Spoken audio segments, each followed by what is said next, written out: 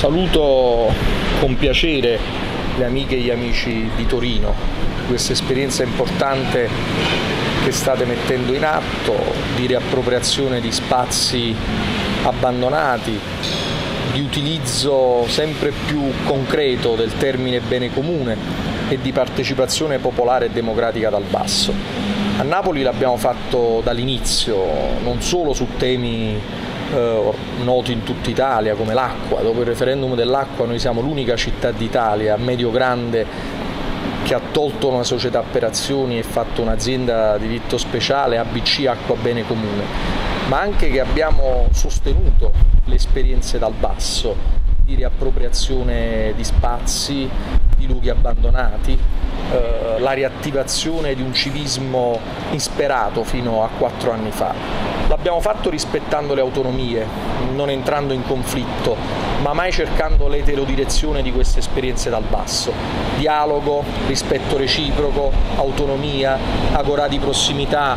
Adesso addirittura siamo in una fase di eh, mettere in sicurezza queste esperienze, che nessuno mai più osi considerarle abusive. Uh, riappropriarsi di uno spazio abbandonato, direbbero i romani di una res nullius o di una res de non è un'occupazione, è una liberazione. Io ringrazio le persone che insieme a noi stanno cercando di recuperare il decoro nella nostra città. Quindi cerchiamo di fare un passo addirittura ulteriore. Abbiamo eh, approvato una delibera sui beni comuni, una delibera sulla riappropriazione alla città dei beni privati abbandonati. La proprietà privata non si tutela sempre, ma si tutela solo, come dice la Costituzione, quando non è in contrasto con l'utilità sociale. Allora se ci sono beni abba- privati abbandonati, noi riteniamo che possano essere acquisiti nel patrimonio comunale e dati eh, in affidamento alla città saranno i quartieri, saranno i cittadini, saranno le persone a decidere che farne, un centro sociale, un campo di calcio, un laboratorio teatrale, un orto, qualsiasi cosa.